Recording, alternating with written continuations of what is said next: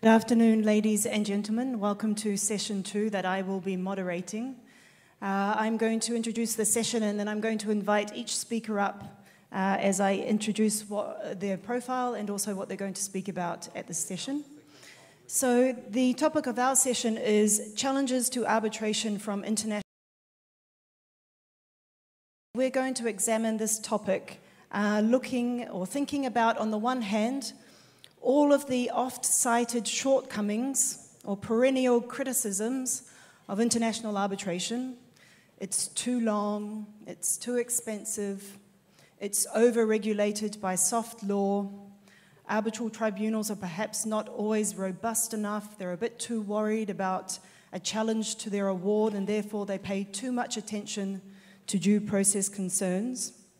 So, that on the one hand, coupled with, on the other hand, the advent of other options in the international dispute resolution space, namely in the form of international commercial courts.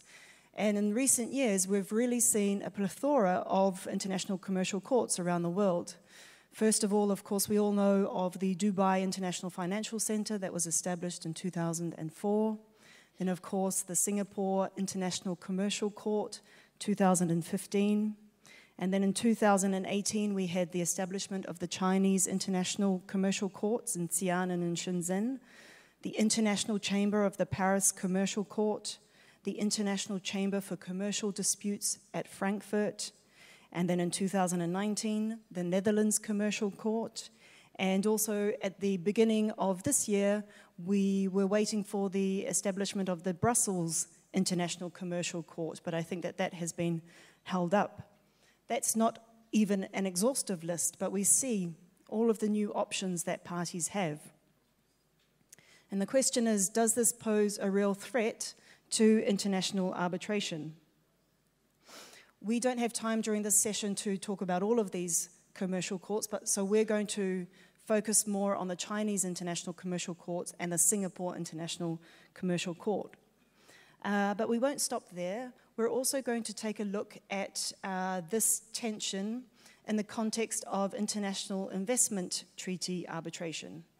And we know that there has been, if we can't really call it really a shift yet, but at least a serious exploration which has manifested itself formally in the UNCITRAL Working Group three sessions, uh, a state led process, perhaps spearheaded by the EU, looking at whether or not a multilateral investment court, that is a permanent standing court, would cure all of the perceived ills of the current investment treaty arbitration system, i.e., the risk or inconsistent decision making with respect to treaty terms that are very similar, the fact that there is no way to uh, oversee parallel proceedings, questions around the independence and impartiality of arbitrators, the diversity of arbitrators, and also costs and duration.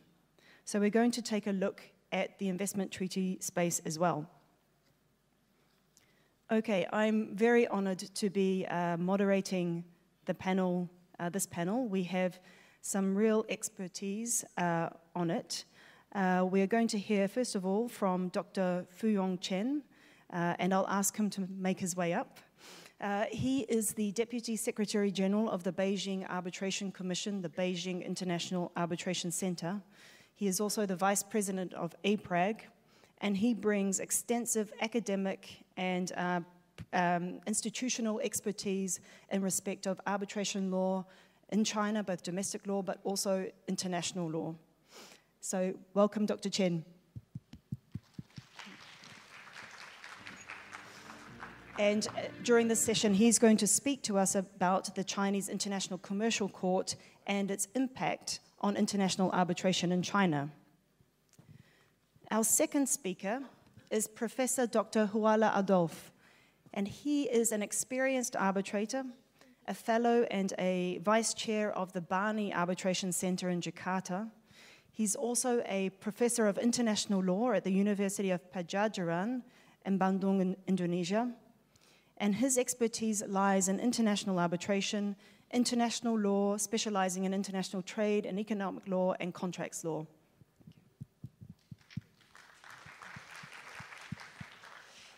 He's going to speak to us today about the key differences between international commercial courts and international arbitration.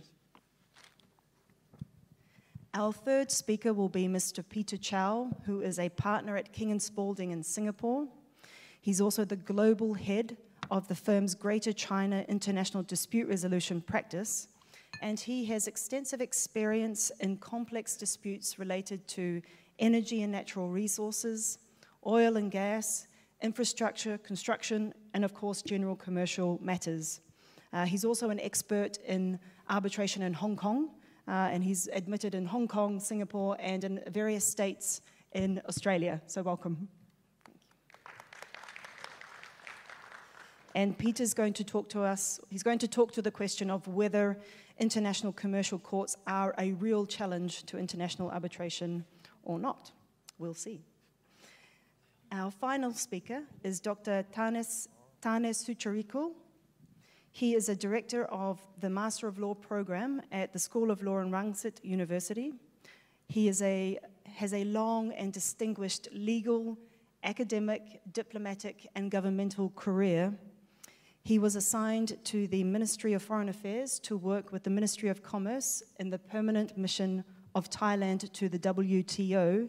And indeed, Dr. Sucharikul has been practicing international trade law even before the creation of the WTO. and he will be focusing today on international investment treaty and international investment, the International Investment Court. Okay, so without further ado, well, let me just give you a heads up with respect to the format. Each of our speakers will speak for about 10 minutes, and then we will have some time after each uh, presentation to open the floor. So if you do have questions, uh, know that I will come to you and give you an opportunity to ask them. But without further ado, I hand over to Dr. Chen. Thank you, Sarah. Uh, distinguished guests, ladies and gentlemen, good afternoon. I know it's a big challenge to speak uh, at a section immediately after lunch. So if you really feel sleepy, you could take a nap, but please do not snore. Uh, first of all, I would like to thank the uh, THAC and the organizing committee for inviting me to speak here. It's both my pleasure and great honor to be a member of this panel. The theme of my presentation today is the overview of CICC and its impact on international arbitration in China. I have divided my presentation into uh, four parts. Uh, first is the background introduction, and then is the, the second part is the establishment of CICC and its operation. Uh, the third part is the interaction between CICC and arbitration in China. The last part is some uh, conclusion. So actually, the establishment of uh, CICC actually is the and Road Initiative. So since the, uh, in 2013, the President Xi Jinping in China uh, uh, launched the Belt and Road Initiative. So many arbitration institutions or many uh, corporations actually, they are thinking about how to integrate the development strategy with the Belt and Road Initiative into benefit uh, from this effort. So, and I quote the Justin from the uh, uh, Herbert Smith Freehills. He said he, uh, he was uh, regularly asked about the trends in patterns in dispute resolution across Asia.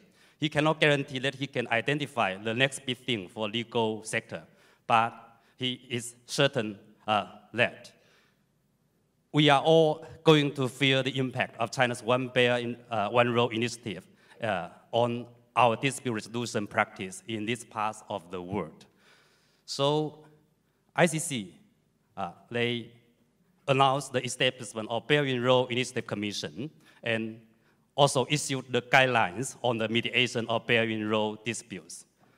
For the HKIAC, they adopt a panel of industry experts to the Belt and Road adv uh, advisory committees, uh, which bring together the legal and commercial uh, expertise across the infrastructure, uh, uh, infrastructure, finance, construction in maritime sectors. Also, uh, HKIAC also launched the online BRI resources centers, which intend to update the news in practical resources related to the uh, BRI project. For BAC, also, we actually launched the Bear in Arbitration Initiative uh, in, on May of two, uh, 2017, and jointly with the AIAC, the then uh, Kuala Lumpur Regional Center, and the uh, uh, Center, uh, Cairo Regional Center of International Center of Arbitration, and also CIETAC.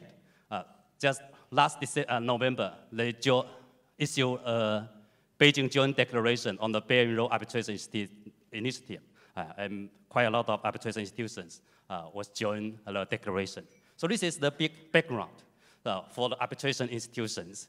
So, and under this big background, actually, CICC uh, was established in uh, 2018 and launched two branches by the Supreme People's Court uh, and formally launched two uh, branches. Uh, one is in Shenzhen, one is in Xi'an.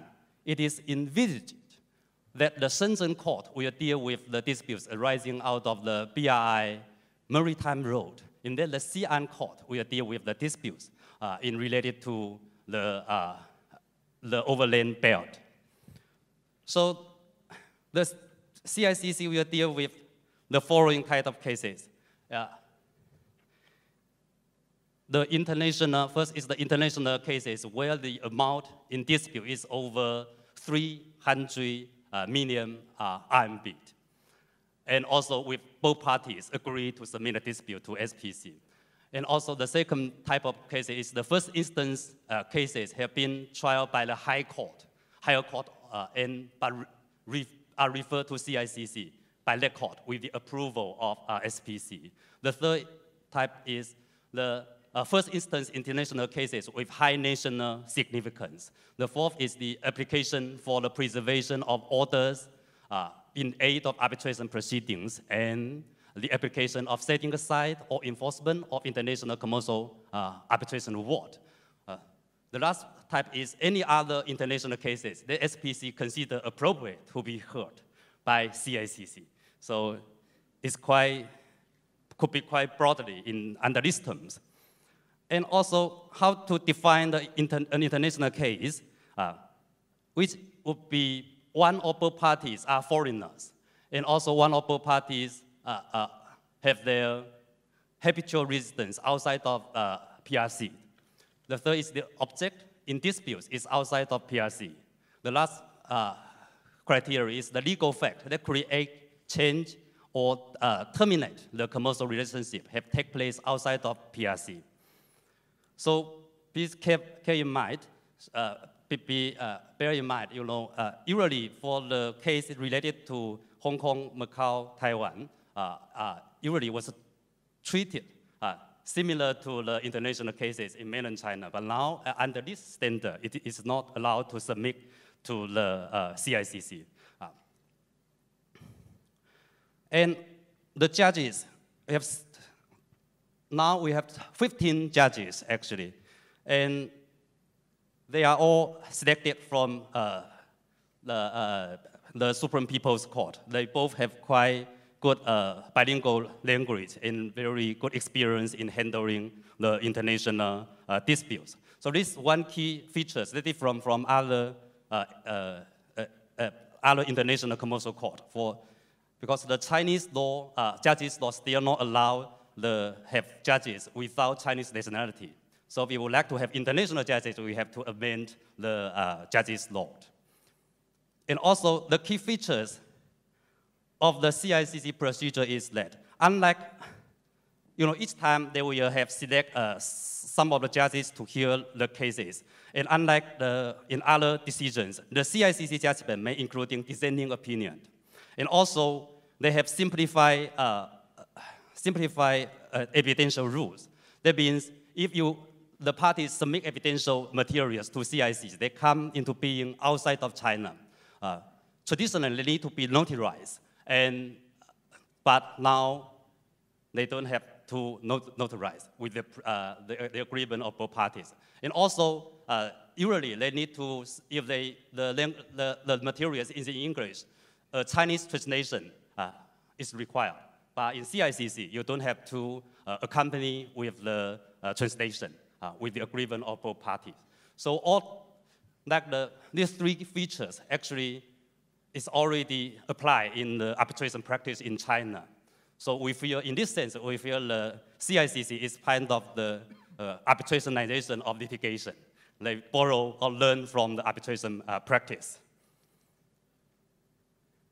And another feature of CICC is they appoint a 31 experts as they establish an international commercial expert committee and appoint uh, 31 experts uh, for the first batch. And they are all uh, renowned experts.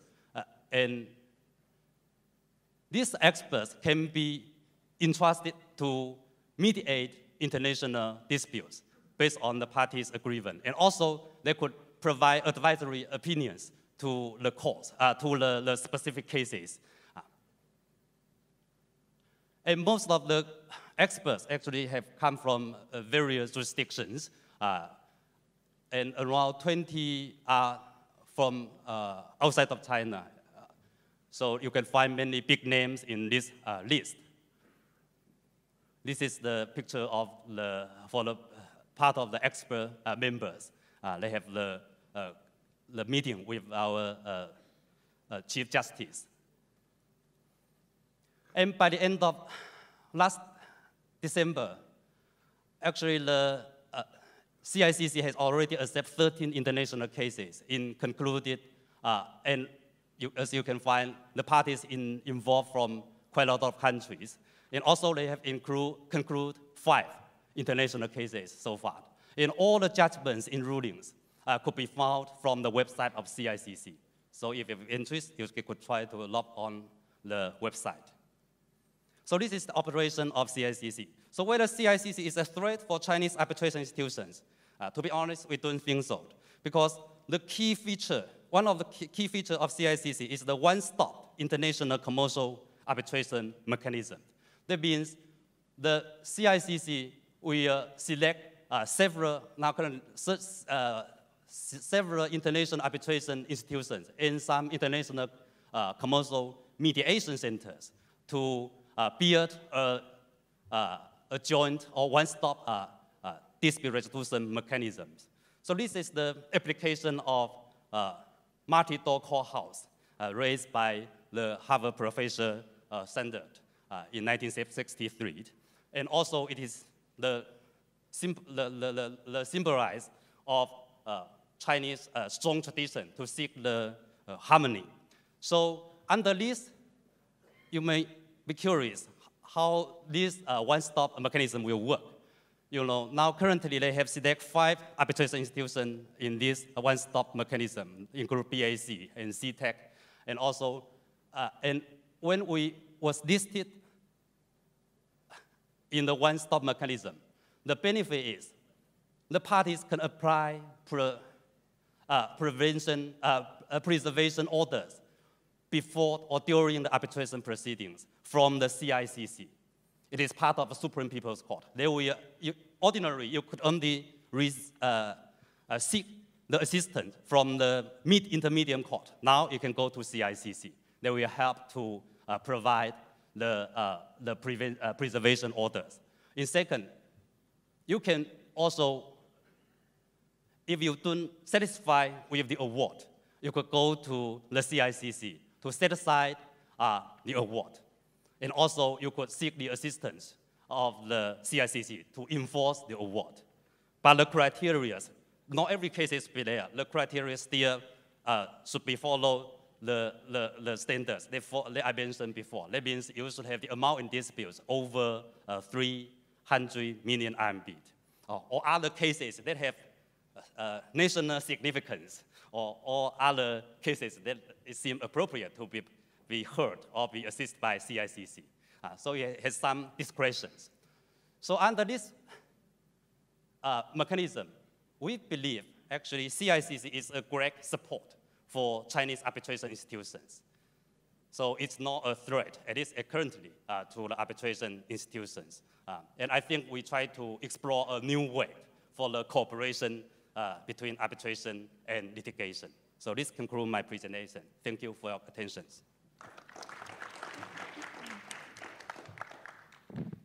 Thank you. Are there any questions at the moment?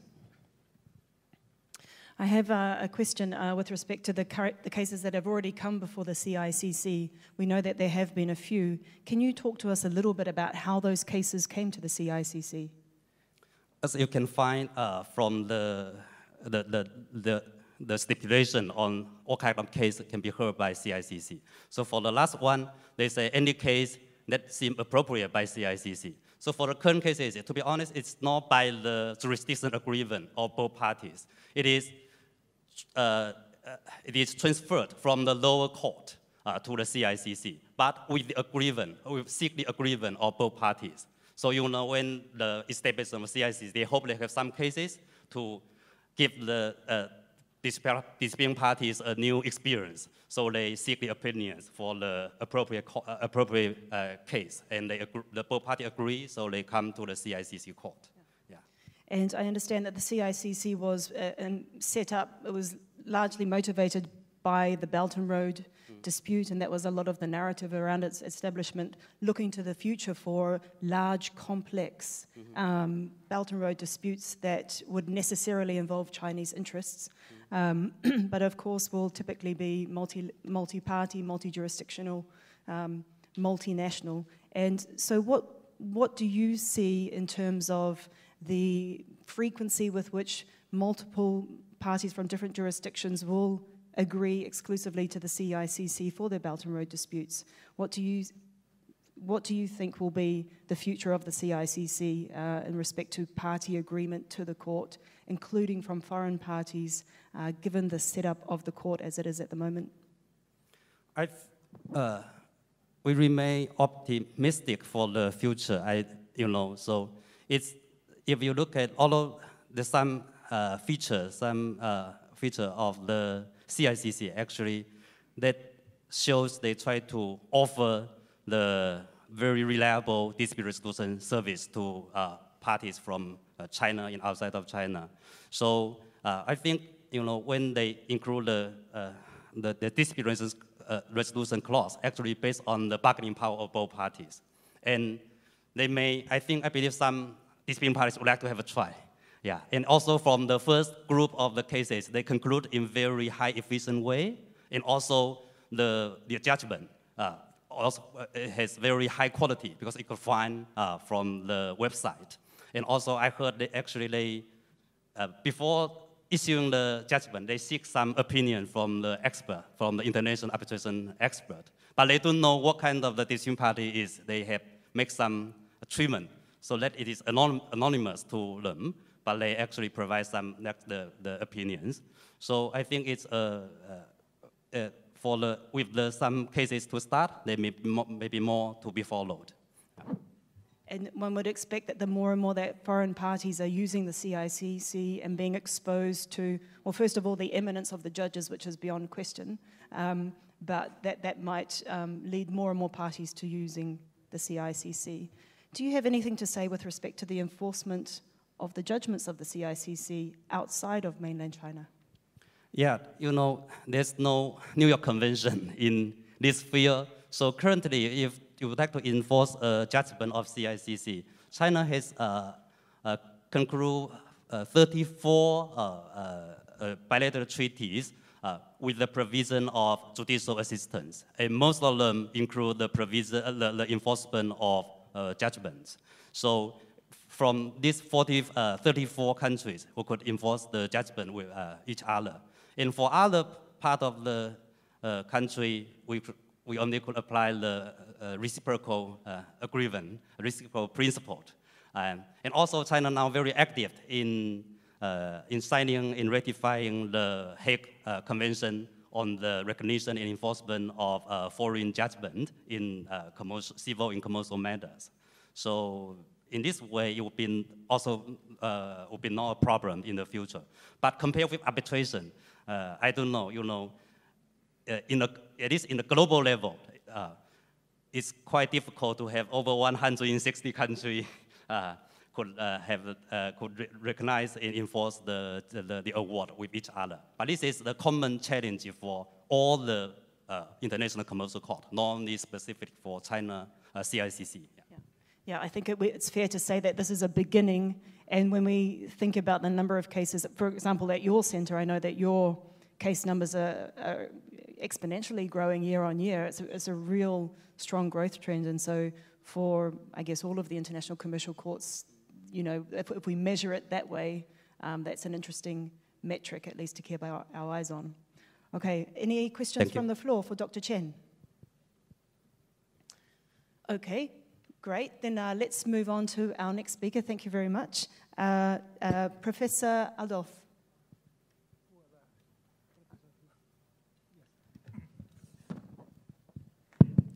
Uh, good afternoon, ladies and gentlemen. I would like, first of all, to thank Thai Arbitration Center and Professor Colin Ong for inviting me to speak at this uh, prominent APRA conference. The establishment of ICC is meant to address the growing needs of settlement of commercial disputes in, national, in its national territory. Singapore founded its Singapore International Commercial Court on January 15, 5, January 2015, and the Supreme Court's Court, Supreme People's Court of China set up its China uh, International Commercial Court in June 20, in June 2018. The establishment of ICC was triggered because of the because of the uh, the absence of international courts specifically dealing with international commercial disputes, and increasing critics to the international arbitration, especially the investor-state investment disputes, which has arisen in the past 10 years. States seek to find a better alternative for the settlement of state to private or between private parties disputes mechanism, settlement mechanism. One of the alternatives found is the establishment of ICC.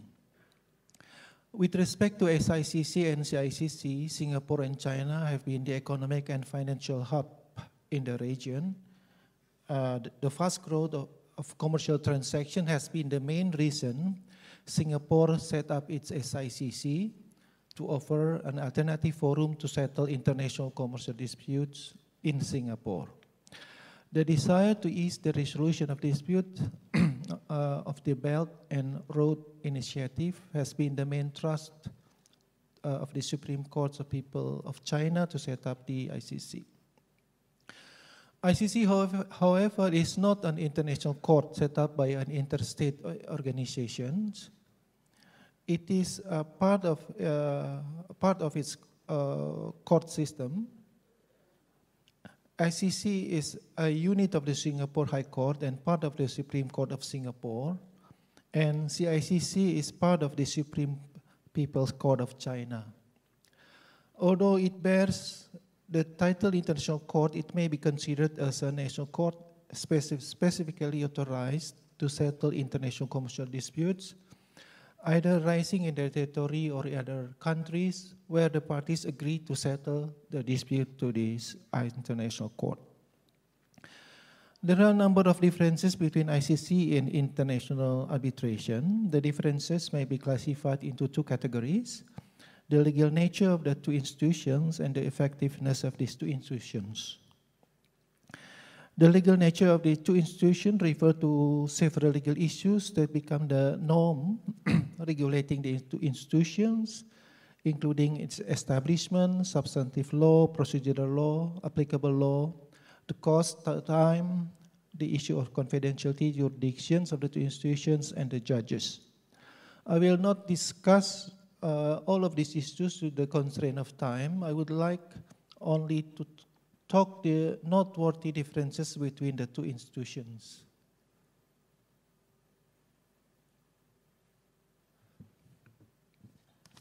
The with regard to the uh, establishment, ICC established by the is, uh, is established by the judicial organ of the state is actually a state court authorized to settle the international commercial dispute in its jurisdiction, while the international arbitrations may be established by a private international organization, such as, for instance, the International Chamber of Commerce.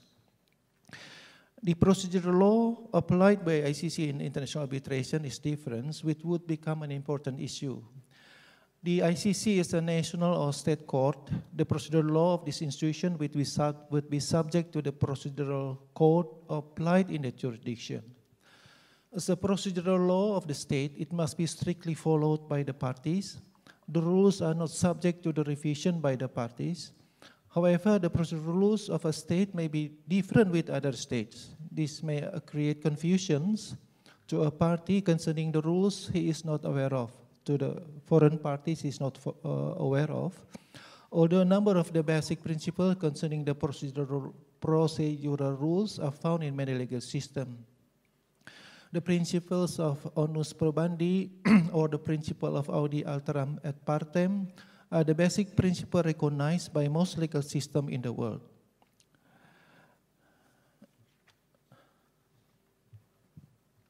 Thank you, Peter. Thank you. The applicable law. The issue of applicable law may be a source of difference between the ICC and the international arbitration. The applicable law of the dispute is determined by the parties. The choice of law by the parties is the law that the court must apply.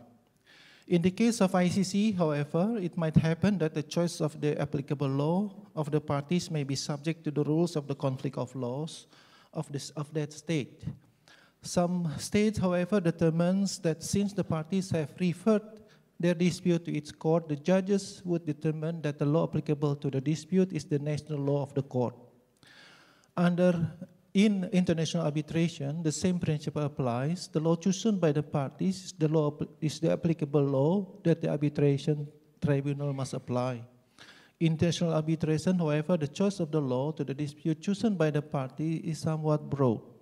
The parties may agree to apply certain national law or even international law as envisaged in Article 42 of the ICSID Convention. Next, the jurisdiction of the, uh, the two institutions. Another stark difference between the two institutions is the jurisdiction. Under the ICC, all the parties, companies, or even the state-owned companies are subject to the jurisdiction of uh, the ICC. Jurisdiction of other states might arise difficulties. The state is usually, reluctant to have its dispute settled by another state's court the issue of independence impartial, and impartiality may arise when dealing with other states as a party to the dispute. The issue of immunity of state as the ground for challenge to the jurisdiction of the ICC may also be used by a foreign state.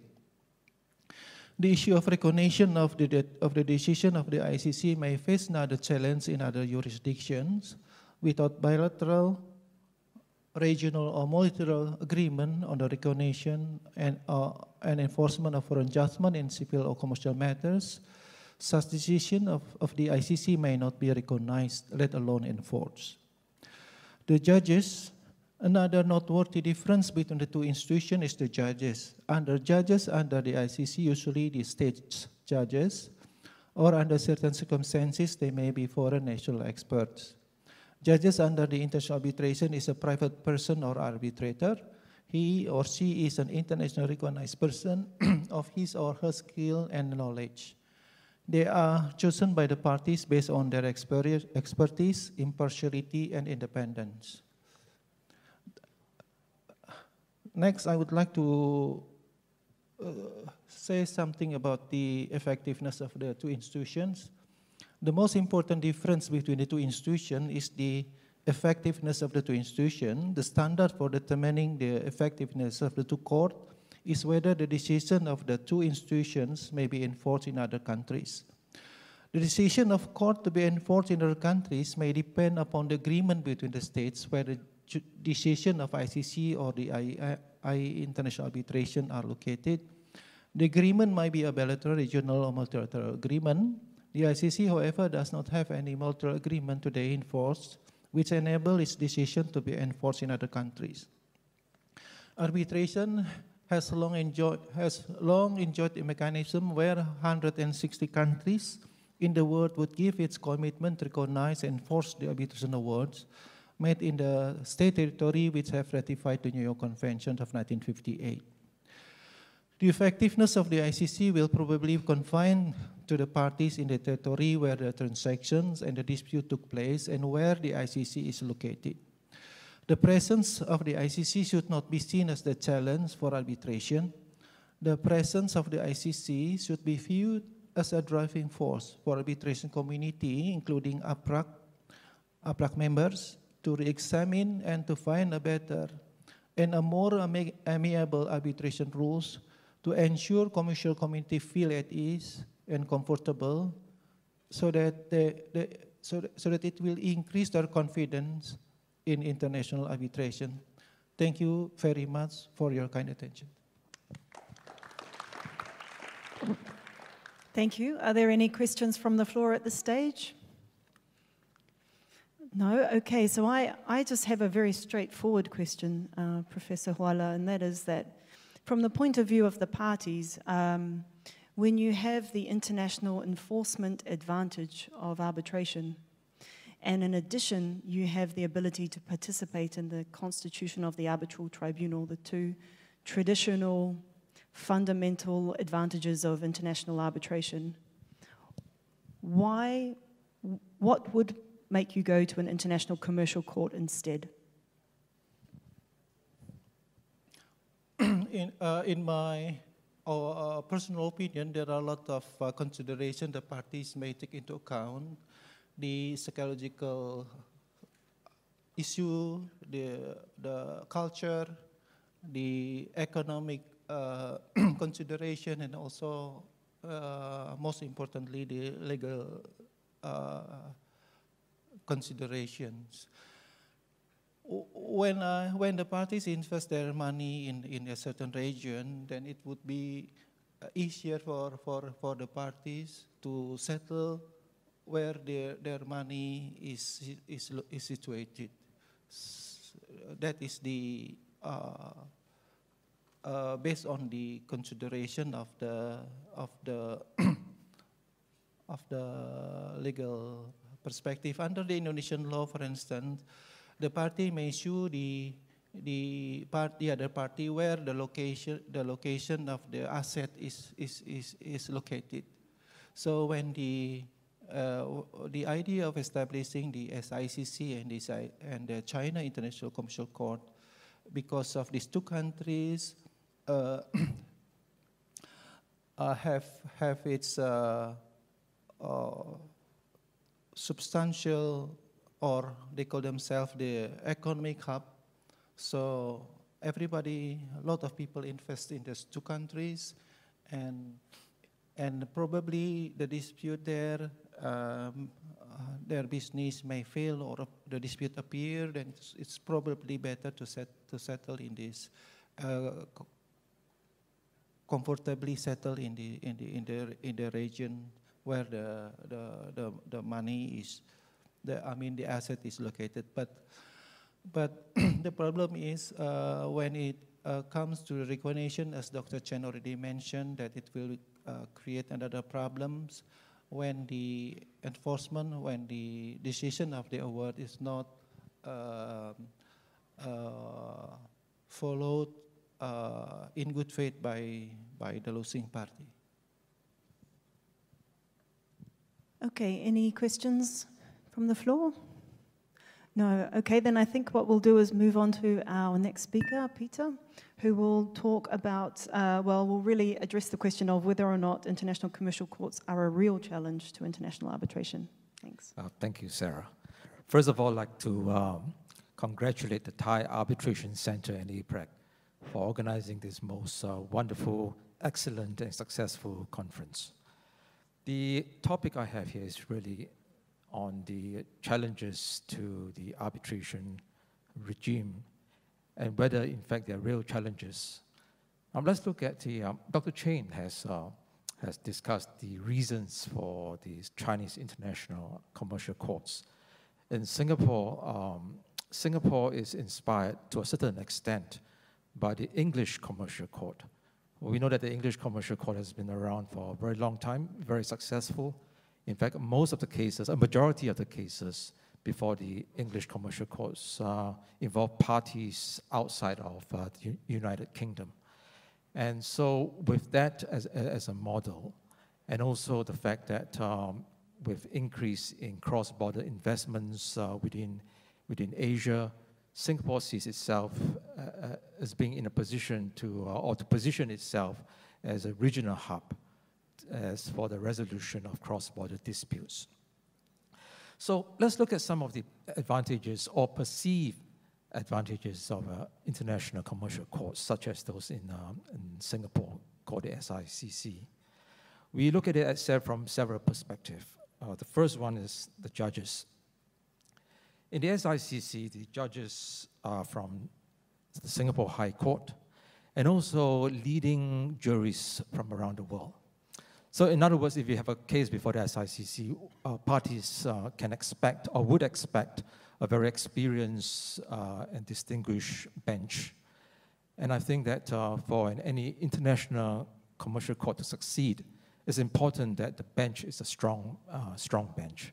In, in, China, for example, Dr. Chen has explained that uh, the judges from the Supreme People's Court, again, I've not had any cases before the CICC, but from my personal interaction with uh, a couple of these uh, judges, I find them to be very uh, distinguished, sophisticated, very competent. So these, these will be attractive uh, features of uh, international courts. Now, you contrast that with in arbitration, and Sarah mentioned just now that in arbitration, well, you get to choose your arbitrators. So you, you can also choose good arbitrators. Well, that, that is probably right uh, according to the rules and in, in, theory. But as a practical matter, when the uh, arbitration involves a sole arbitrator or when you're choosing a presiding arbitrator, parties usually cannot agree on the sole arbitrator or the presiding arbitrator, which means that these will be appointed by the institution. And then it depends on the reputation and the quality of the institution involved. If a good institution, generally you get a reasonably good arbitrator, but uh, not necessarily of the same caliber, say, of an international judge you may get in SICC. And uh, in, in, those cases, for example, if you have a reasonably small case, um, if you go to an institution, it's quite likely that they'll appoint a less experienced arbitrator to adjudicate on a small case. But if you go before an SICC, even if it's a small case, you get really a very experienced bench. So that, that's one, one possible advantage. Um, however, this advantage may not be, um, be there if you have a very complex case. In a very complex case, for example, in, in arbitration, parties would choose uh, two very experienced uh, uh, co-arbitrators, and parties may may allow the two co-arbitrators to choose the presiding arbitrators. In that case, you get also a very experienced presiding arbitrator. So it depends on the circumstances. Now, in, um, in arbitration, the other concern about arbitration is that even though you get to choose the arbitrators, or even a, an experienced, reputable institution appoint an arbitrator, you may get a very prominent uh, arbitrator. But my experience is that I've come across one or two so-called prominent arbitrators, but in fact they don't perform as well in practice as an arbitrator. You know, some of them just, you know, they don't respond to emails, they're just uh, too busy, and some of them even got the law uh, incorrect. So it's still, it still may be an issue there. Now, con continuing this, uh, this uh, question of judges, in, uh, before the SICC, although Singapore is a common law jurisdiction, uh, it allows judges to be appointed from both common law and civil law uh, jurisdictions, which means that uh, at, the, at first glance, this is a real game changer. If you come before Singapore courts, you get a real eminent jurist from a civil law uh, adjudicating on a case, deciding on a case involving civil law. And, and in theory, that is probably right. But in practice, uh, most of the judges in the SICC, they are from the common law countries, and about only two judges are from civil law countries. And uh, it, again, if you have a common lawyer from one country, say Singapore or Hong Kong, uh, they might be comfortable with uh, the English law, for example. But the same cannot be said for civil law from one country or adjudicating on a civil law of another country. A, a judge from uh, mainland China, for example, may not necessarily be familiar with the civil law of Thailand or Indonesia. So the, the comparison ca cannot be made there. Another important factor is uh, legal representation. Uh, in, in, the English courts, uh, only barristers or solicitor advocates can appear before the English courts, and it, that's the same throughout most courts around the, around the world.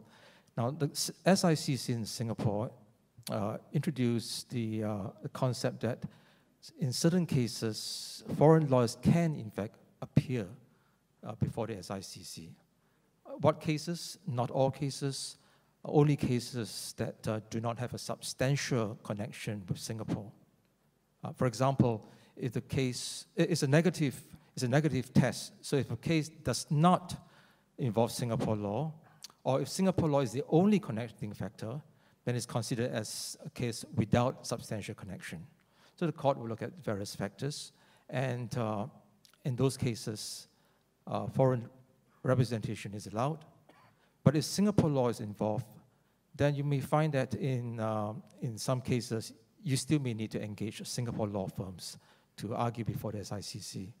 You contrast that with uh, the international arbitration. In international arbitration, any lawyer can, uh, can appear and argue before the uh, arbitral tribunal. So you see that in some cases, the, the perceived advantages may not be as strong as uh, initially uh, seen.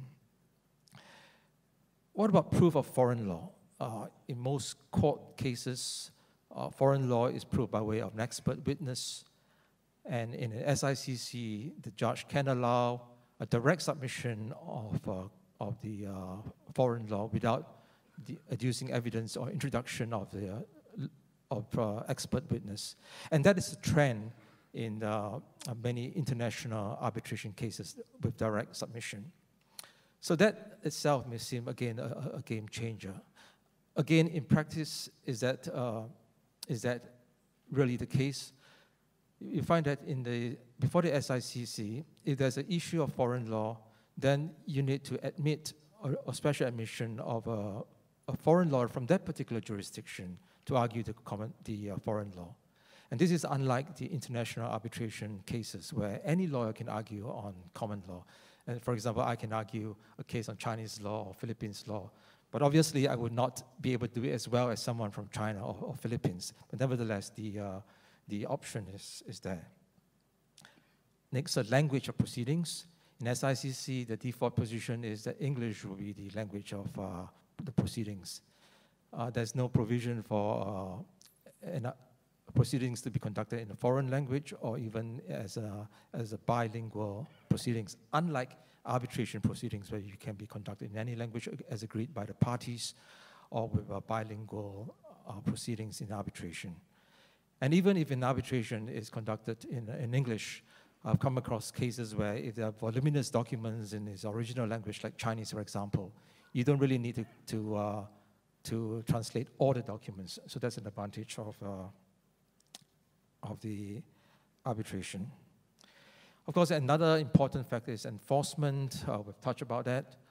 Uh, New York Convention, 160 countries, parties to New York Convention. There's, of course, the uh, uh Convention of Choice of Courts Agreement 2005. The problem with that, again, is that up to today, uh, only the EU and one or, or, three or four other countries are signatories to the, uh, to the to this uh, Convention on Choice of Court Agreements. And uh, US and China, are signatories, but they have not ratified the, uh, the convention yet. Then there's a new convention that came out last year, the Hague uh, Judgment Convention, that was relatively new, and that has not been in effect yet, and only one country, Uruguay, has signed to that. So again, um, that, that is still an, an, issue there. You may say that uh, judgments can be enforced through uh, common law uh, uh, enforcement recognition or under the civil law by reciprocity. But nevertheless, uh, there's still a risk there. It's not as clear cut as the New York, uh, New York Convention. So, net net, I'll say that is it a challenge? Well, just look at the statistics. In the uh, Dr. Chen has shared with us in China, about how many cases? Th 13 cases. Uh, I heard from Dr. Chen a few days ago that uh, before the BIAC last year they, ha they had 6,000 cases. So you know, the, the, difference is quite stark.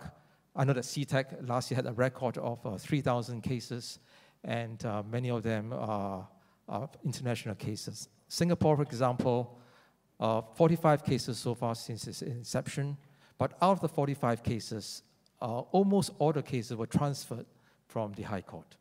And uh, for true international cases where parties actually agree to those cases in the, in the, in the agreement, I think as far as I know, there were at least one or perhaps three or four by, by now. Again, uh, parties have not actually signed up to the uh, international uh, courts. And I think one, one reason for that is because a corporate lawyer who, who, who uh, drafts agreement, I don't think they will come spend the time to analyze which court or which forum might be the best. They simply take the standard clause and standard position and go for arbitration. So in conclusion, my view is that currently, at, at least as it stands, the ICC International Court is not a challenge to arbitration. However, however, we know that the courts in China and Singapore and elsewhere are continuing to develop and to improve. And they, it may well come a time that if the arbitration community uh, does not adapt to the changing needs of the stakeholders, the gap may very well uh, close up. And uh, the bottom line is the, the, real issue really is not whether a, a challenge is, is, good or bad, but the real issue is whether uh, parties have sufficient options depending on, on cases. Some cases are probably more suitable for international courts, some are probably for, for arbitration. And uh, the, the real issue is whether parties can find access to justice rather than whether arbitration lawyers or arbitrators are losing market share to the, to the courts. Thank you, Peter. Thank you for walking us through all of those different aspects of the, the International Court, um, specifically in Singapore as well. Uh, what I want to ask you is because you know you mentioned the challenge to arbitration and and what the issue may be is if we don't respond to the criticisms to arbitration, um, then, then international commercial courts could become a real challenge. And I want to uh, ask you the question do you think that the international commercial courts themselves are exempt from the same criticisms that are often directed towards international arbitration proceedings, i.e., it's too long, it's too expensive, it's convoluted, it's overregulated, there may be some issues around independence and impartiality. What would you say to that? Oh, that, that's a very excellent, uh, excellent question. I, I, think bottom line is that it all depends. Uh, I've heard, I come across uh, criticisms that uh, arbitration is, is too long, too complex, convoluted.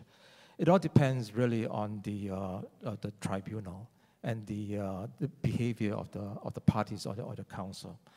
And there are cases that the, these uh, justifications are, are, valid, but in, in some cases they're probably not.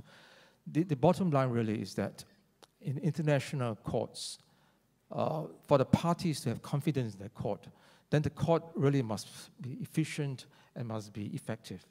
Let's take Singapore for, as an example. Uh, I, I, first started practice in Singapore uh, nearly 30 years ago, and I recall that there was one particular case where I took over more than 25 years ago in Singapore. Um, by the time I took over the case, it had gone on for about 10 years. Construction case, six or seven parties, uh, rather complex. And uh, by the time the, the, matter was ready to set down for hearing, setting down means that all the papers are in, you're ready to ask the judge for a date. And we went to the court and asked for the date. The closest the earliest available date was five years down the road. So it was 15 years process altogether, and six, seven parties all decided, let's move to arbitration. And that, that was at that time. And then at the same time, we did a mediation, and the matter was settled within two months.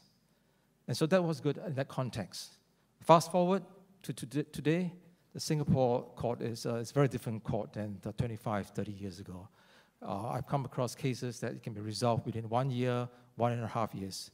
And you compare, compare that with arbitration, for example, um, as I understand from the HKIAC, cases are resolved in about one year or slightly more than one year. So you find that the courts and arbitrations are usually quite comparable in terms of, of timing. Uh, but again, I, I come across one particular case where the arbitration lasted 12 years, and that may be an exceptional case. And I've come across cases in courts where it lasts for years. So it, it really depends on the, uh, the circumstances. And I think for institutions, we're, we're always called upon to issue our statistics in our average duration and costs. But of course, bundled up, up against, in, in all of those cases, you have, for example, a small contractual dispute uh, worth maybe 100,000 US dollars, along with a, a, massive 1.5 billion US dollar joint venture dispute involving multiple parties. That so they're very different creatures and very different processes. So it's it's a bit you know, we, we, give this, this information to the extent it's helpful, but it has to be taken um, knowing how it's derived. Yeah. So I think that there are you know, a number of ways of thinking about international commercial courts and what they may offer over and above or in a better way to arbitration. And it may be with respect to, say, for the CICC, if you get a judgment against, for example, a Chinese party from the CICC, then you would you would assume that your enforcement process is going to be pretty straightforward. Um, so that might be a, an extra incentive for the parties, and also with respect to provisional measures, um, that might also be quite interesting. Although what we see in Hong Kong with the arrangement for court-ordered interim measures, uh, where you can seat your arbitration in Hong Kong and have an, a qualified institution run the arbitration, and through that arrangement have access to interim relief from the mainland courts that has been very popular, and we've had 13 applications under that arrangement to date. And um, one of the applications was with respect to 1.5 billion RMB worth of assets. So I think that that those enhancements with respect to the arbitration process that are meaningful and make a difference to the parties in, in terms of protecting the outcome of the case. Um, those are ways in which the arbitration uh, system can respond. Um, but I also think that with respect to international commercial courts, there's perhaps a, a, a, a larger public interest that they serve and that they may be able to um, delineate a line of, of cases, put in place some predictability around certain issues that may come up uh, on a repeated occasion, including in international arbitration. So, in that way, they can assist the arbitration system as well. Uh, and also just building uh, a body of legal expertise and legal experts in various jurisdictions and bringing them together to work within the ambit of an international commercial court. I can see that larger public interest. Yeah. Do we have any questions from the floor? No? Okay, so let's turn now to our final speaker, Dr. Sucharitkul, who's going to take us uh, on a tour of the evolution of international investment treaty law from the past, looking at how international courts played a role and where we may be coming around full circle again. Thank you. Okay, I try my best. But first of all, I would like to thank uh, the Thai Arbitration Center to invite me to uh, this panel. And I would like to also thank the audience uh, and the great expert around me. Uh, now it's my turn to speak something uh, a bit uh, strange or has its own feature. It's not exactly national court, it's not exactly international commercial court, but this is a hybrid. Hybrid. Uh, but before I'm going to the details, uh, I, am very sorry about, uh, I have also the paper, but my paper is not uh, in the PowerPoint format, but this is a paper. I try to summarize everything in just one paper. But the screen is too small. If you can enlarge it to the second page, not this page. this page is my, I have the second one. Yeah. Can, can you enlarge it? and, and then you, we can scroll. Yeah.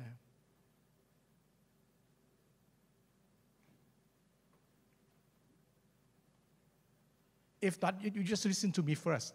Uh, I, I, would like to uh, talk about uh, the uh, topics that has been debated long time ago, since history. Uh, it can be traced back to uh, even to the colonial era, the 18th century, whereby uh, the colonizing countries uh, would like to invent the so-called uh, international investment rules to protect its own citizens and companies who invest in the colonized country.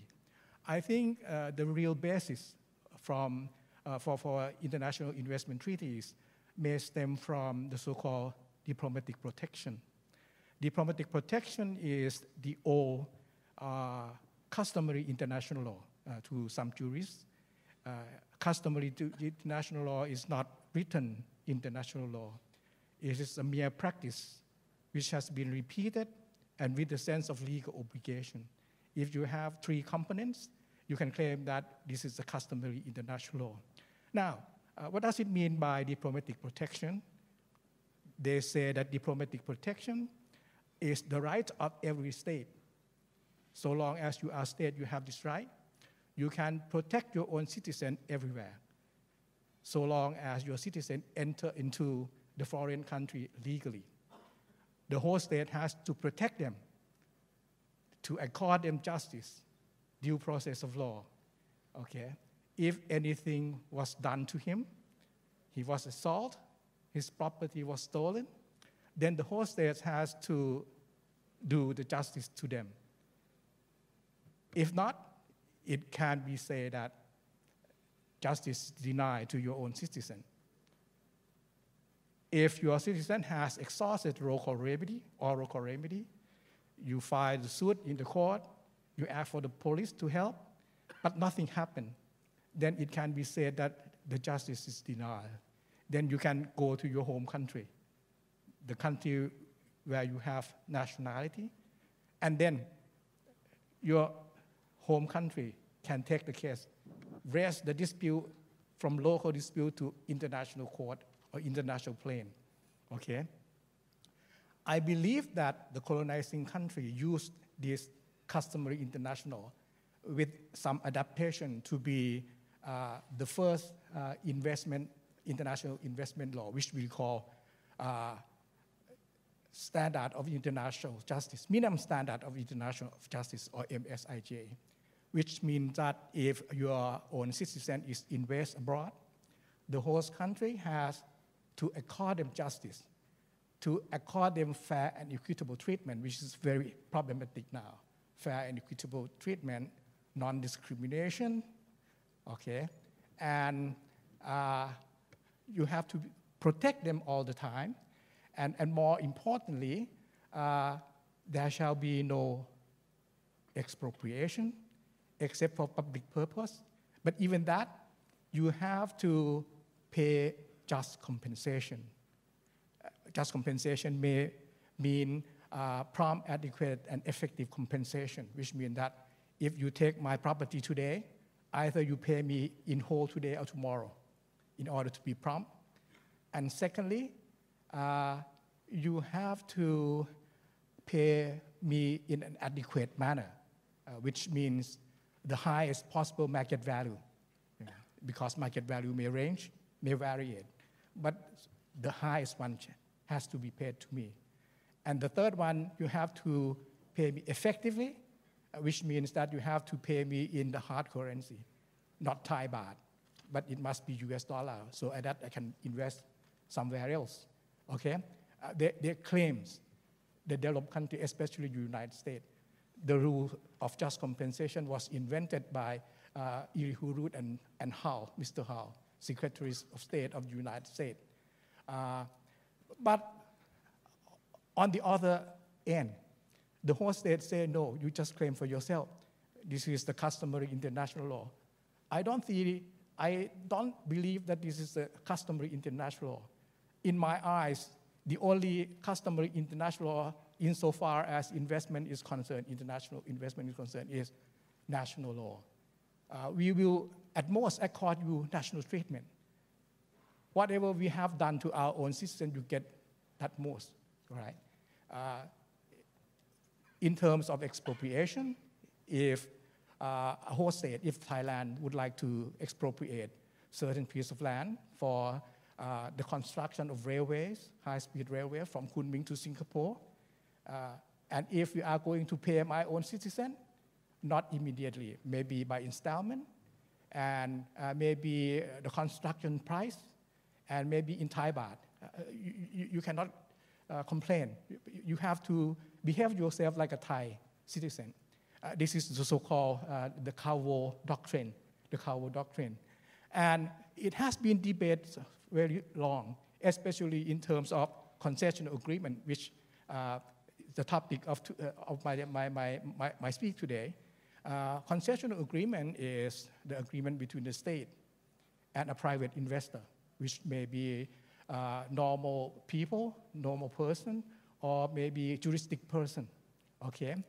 And the two sides claims different things. Uh, the investor and the home state say that it is a treaty. Then international law should be applied. Okay, and the host state a different thing, but this is uh, an, uh, a contract, a contract, and then it is subject to uh, national law and national court, not arbitrator, as you claim. Okay, uh, the, the, main reason is for this is that uh, a treaty, you have to understand what does it mean by a treaty. A treaty is an agreement between a state and a state, uh, or a state and in an international organization, or between an international organization and international organization. A contract, on the contrary, is an agreement between uh, ordinary person with another ordinary person, and or an ordinary person with a juristic person or a juristic person with another juristic person. But a concessional agreement is in between. One side is state, another side is individual. So they can claim as they wish, okay? And now come the ICSID, which is ISDS. They claim that uh, let's forget about the debate. We should concentrate on the procedures, okay? And let's forget about uh, any problems arising from the two doctrines, MSIJ or Calvo, uh, let's conclude bilateral agreements, which you can do uh, by your own. You can dovetail the details of the BIT according to your, uh, your wish, okay? So the BIT contains both some sub substantive laws and procedural law. Substantive laws may be uh, the investor shall be accorded fair and equitable treatment uh, non-discrimination, due process of law. There shall be no uh, expropriation except for big purpose and against just compensation. And it is interesting to me when I first joined the foreign ministry, Ministry of Foreign Affairs, very long time ago. Uh, I object to the joining the ICSID because why should we go, why should we join the IC, ICSID? Because we rarely invest abroad. We are just the host state. So, so Thailand, finally, we, uh, uh, we, we, we, are the signatory to, to the ICSID, but we have not yet uh, just uh, ratified it, ratified it. So it may be a few countries which has not ratified the ICSID, okay? And uh, whenever we conclude bilateral agreements, we have never used the word just compensation we try to deviate, we like to use uh, appropriate compensation. Uh, this topic has been debated even in the UN. Uh, several developing countries try to push forward the so-called NIEO, the movement towards new international economic order. There are several uh, General Assembly resolutions. Uh, one of them is 1308, permanent sovereignty over natural resources uh, which means uh, they try to compromise between the two claims. They say that uh, concessional agreement should be governed by the concessional agreement provision itself, by national law and by international law. Uh, so long as the court in concern is concerned, you have to use national court first. And if the two parties agree, uh, we can go to uh, international court. Okay. But I think around 1974, uh, the NIEO is to the extreme. Uh, we have the so-called Charter of Economic Rights and Individual State. They say that concessional agreement must be subject to national law and national court only. And this is the rational why several countries uh, go to BIT, BIT, in order to avoid the, the debates between the two, the two sides to make it clear the rights and obligations of the investor. And this topic is very interesting to me that I think that the stage which propose or advocate for arbitration is mostly developed state. But now, uh, the state which trying to revert back to all there, to the national court, to the court uh, or to adjudication, uh, came from the EU, including England, which is uh, the, uh, the colonizing state too, okay? Uh, now, I, I, I, can go to, to the point why we have ICSID. Uh, the rationale for the ICSID is to depoliticize. Let's forget about the debate. We just concentrate on the procedures. Uh, you can put bilateral agreements. You can put forward any substantive law. But should anything wrong happen and you have to go to the dispute, you can refer to ICSID as the dispute settlement mechanism. Okay? And now, okay, I can go to. And now, uh, if you can uh, take a look at the, the second, uh, uh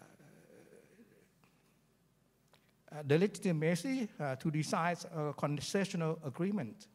Uh, ICSID say that concessional agreement should be decided by a neutral third party to protect the investor who does huge investment. Okay, uh, this is the rationale why uh, the ICSID is established.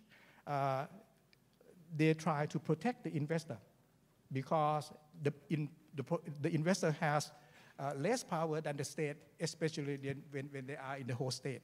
So in order to protect the investor, you have to have some law to protect them. And this is the rationale why you should use the ICSID. And uh, on the contrary, uh, the host state usually say that concession agreement should be decided by a judge of the host state since it involves uh, public natural resources and, and infrastructure, which involve uh, public welfare, okay, uh, which is now uh, the rationale behind the movement for the International Investment Court by, by the EU, by the EU. Uh, I think that the, the main reason why uh, the EU moved uh, to that effect may be because ICSID, since its establishment until now, the arbitrator tends to make a decision uh, in favor of, of, uh, of, of, the investor, of the investor, which is natural uh, because uh, the arbitrator must decide the case according to the agreement. The arbitrator should decide the case according to what the law is, or lex lata. So everything contained in the agreement, every provision in the concession agreement, pacta sunt servanda, the agreements must be observed. And the arbitrators may not think about what the law should be. Uh, in international law, we call the lege. If the law, if the agreement doesn't say anything about that issue, protection of the environment, some BIT has been concluded in very long time before the world has suffered from uh, greenhouse effect, from climate change. Uh, but when the arbitrator has to decide the case, they have to look to the provisions of the agreement. They will not look to what the law should be. Should we protect the environment? In spite of the fact that the concessional agreement is silent on that matter. Okay. And I believe this is the big issue why uh, some major developed countries, which see the merits of protecting the environment, we have to see some change in the CI, ICSID be, because the ICSID is too much legalistic. It doesn't take a look upon the plight or the welfare of the people of the world. Okay, I think this is the rationale behind. Now, come to uh, the second part, uh, whether uh, the International Criminal Court will be success. I think uh, if you take a look uh, uh, at the second, uh, at the second column, uh, I think uh, it stems from the decision of the EU in the Slovakia and Achmea in 6 March 2018. it said that BIT between EU and Canada and, and Vietnam are, are incompatible with the EU law and they propose to reform ICSID. Uh, in the third column, uh, this is the feature of the International Investment Court. Uh, they, the EU proposed to establish the ICC to replace the ICSID. The IIC will be a permanent court dealing with ISDS, and the ICC will apply permanent law, which will induce certainty and predictability. Uh, because arbitration, the parties to the dispute can choose the law, okay? Uh, but the IC, uh, you cannot choose the law, and therefore certainty and predictability. You know, the parties to the dispute know before beforehand that what law will be applicable to them should a dispute arise, and and and the ICC will have the appeal mechanism. The ICSID they, they do not have uh, appeal mechanism, except in certain circumstances, which I don't delve into details. And the ICC rationale are to removal of parties' autonomy, promotion of transparency, avoidance of forum shopping, forum shopping, forum shopping, and uh, enforcing state rights to regulate legitimate public interests, such as protection of the environment. Uh, but what I see the different, uh, uh the problems or, which I call impediments. Uh, first of all, um, according to the Vienna Convention of the Law of Treaty, Article 26, which we call Pacta Sunt Servanda agreement must be observed, which including BIT. Okay? Uh, and it says that every treaty in force is binding upon the party and must be performed by them in good faith. So, in terms of the Achmea decision, you can enforce within EU, but your legal relation, relationship between EU and, and Vietnam and Canada is different thing because it's international obligation.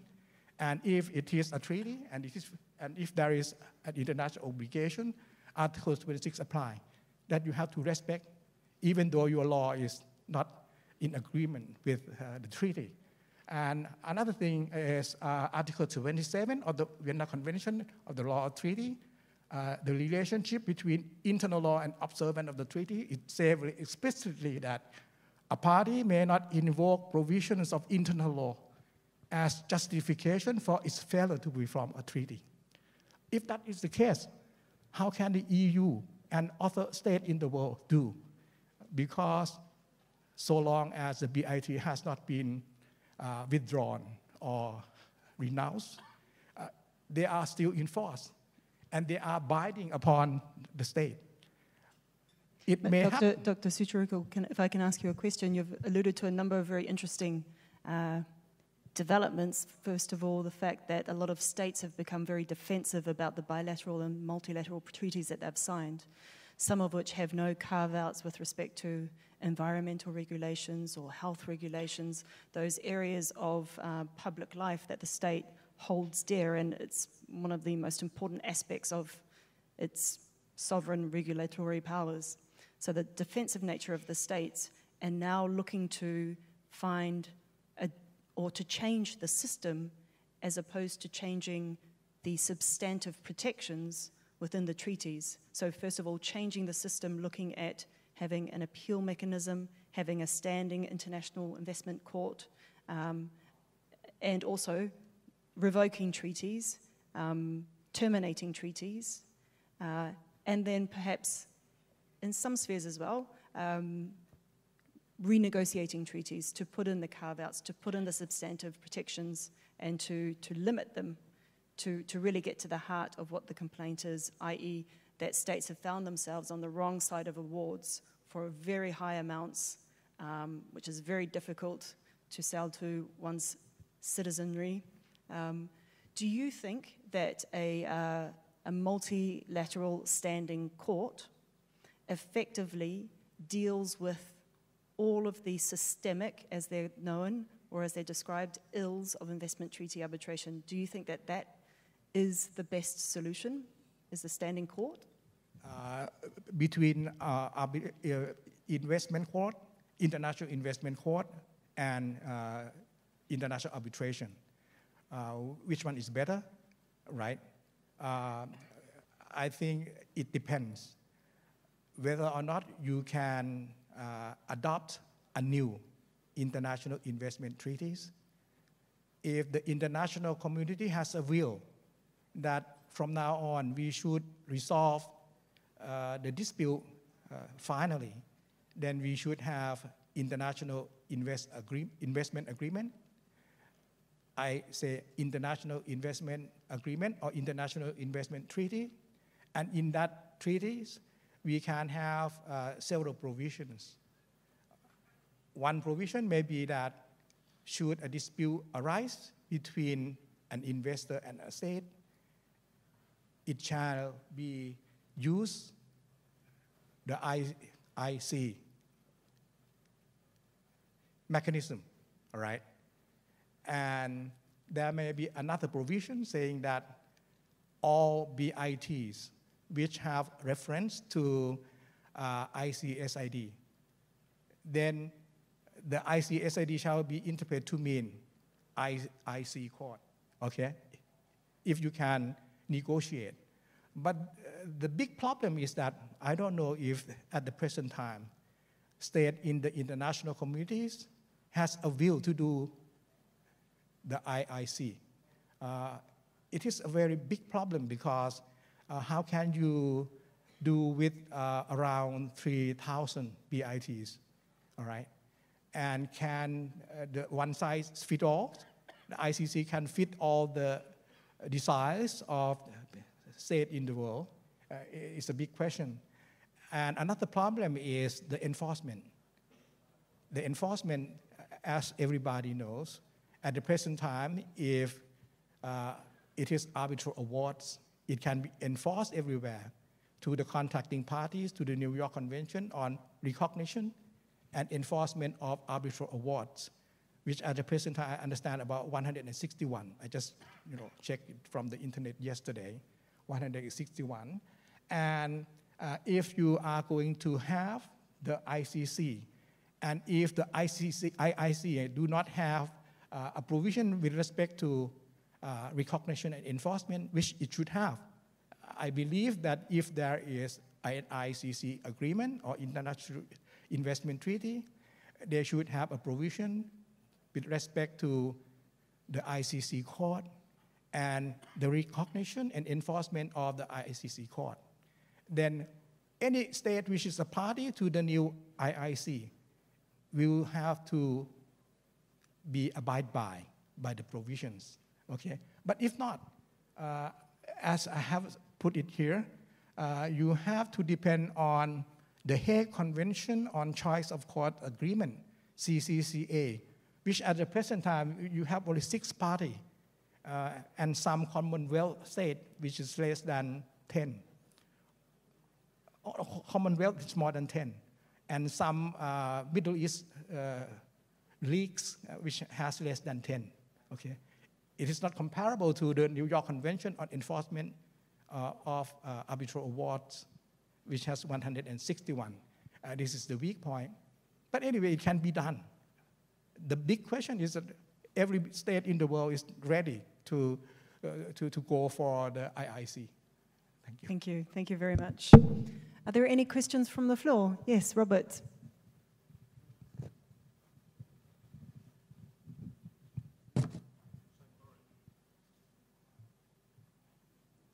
If we could have a microphone at the front, please. Thanks. So, um, just wanted to ask about the Regional Comprehensive Economic um, RCEP that is due to be signed in uh, February, I believe. And uh, I think that the ASEAN countries, China and India, are all going to be parties to RCEP. So, roughly half the world's population. So, this is a very big deal. And my understanding, I haven't seen the text, but my understanding is that it provides for arbitration and not for any kind of commercial court. I just wondered if anyone else uh, knows more about that and is able to, to fill us in. Um, if not, then going with my limited information, that seems to me that it's still a vote in favor of arbitration, uh, and it's a, a, vote in favor of arbitration by uh, non colonial powers, because it's the ASEAN countries, China and India. But uh, if anyone on the panel could add anything, I'd be interested. Thanks.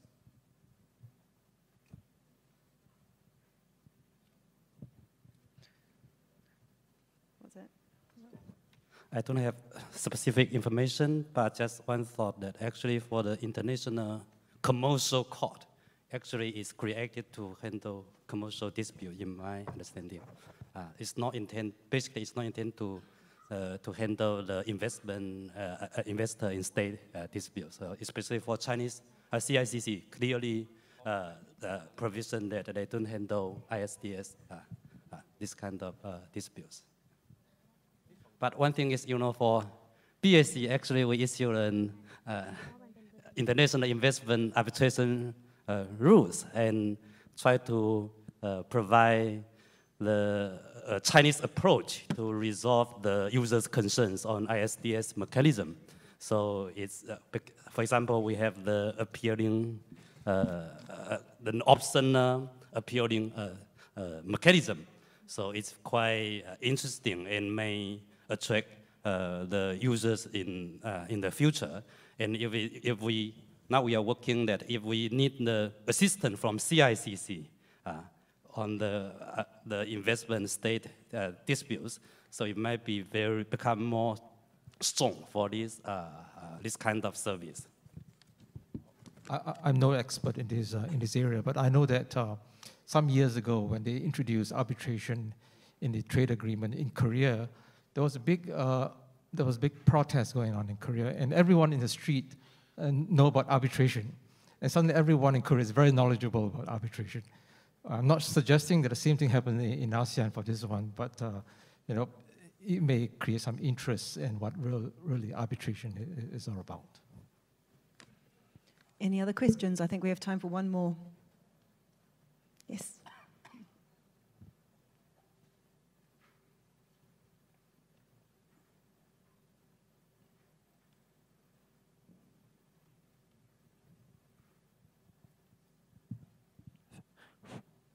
Thank you. Jeffrey Lowe from CAA.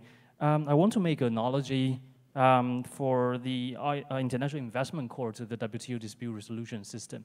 Um, they are very similar in their structure. For example, like under WTO dispute resolution system, they also have two layers. The first layer is ad hoc panel decision, and the second layer is the um, permanent uh, appellate body decision. And um, but look at the current status of the WTO dispute resolution system. I would say it's a little bit, um, I, I, would doubt the viability of the multilateral international investment court system.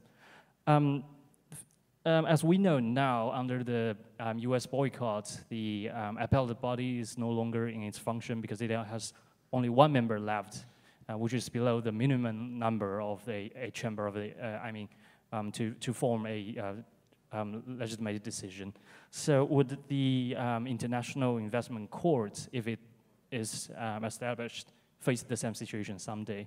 And the second one is regarding the consideration to the public interest in the um, International uh, Investment Court system.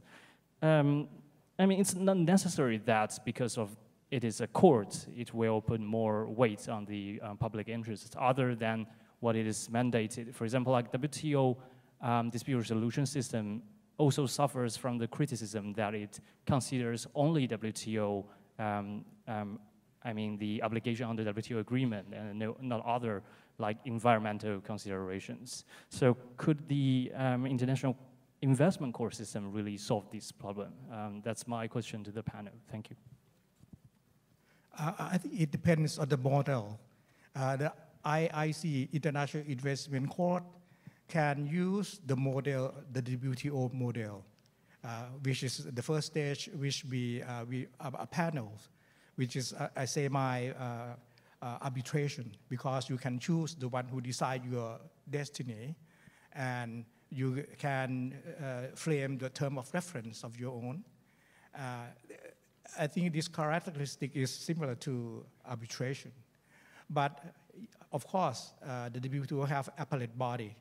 The appellate body uh, shall comprise all eminent lawyers, and they shall decide the case legalistically. Legalistically.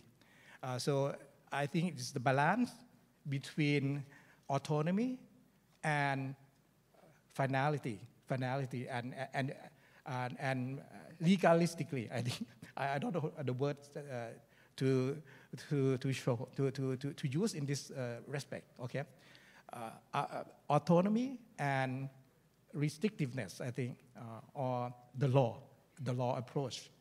if ICC can use that approach, provided that uh, they have to have some provision with respect to uh, geographical distribution of the appellate body.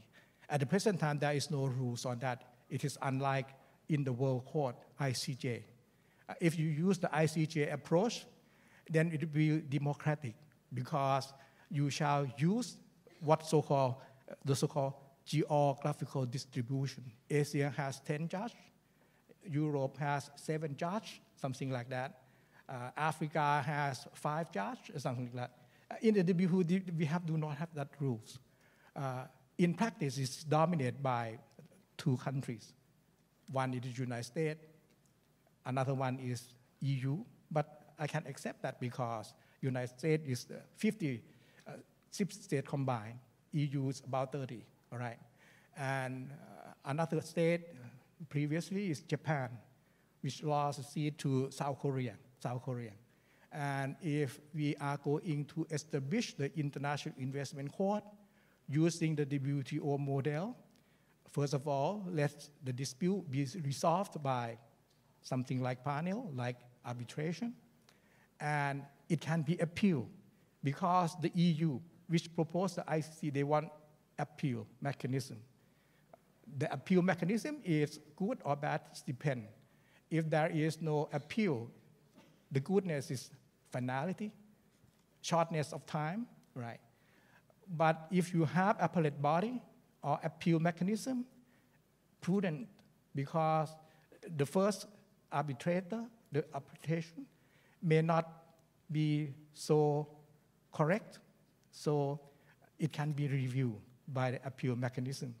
So I, I think uh, WTO uh, model is good, provided that you have to have uh, the process of selection of, of the judge, which is democratic. If you can do that, it can be acceptable to the developing countries because they have representative over there. They have representative over there. Thank you. Um, thank you very much. Um, speaking of finality, and shortness of time, we have reached our, the end of our session, so please join me in thanking our very fine panelists.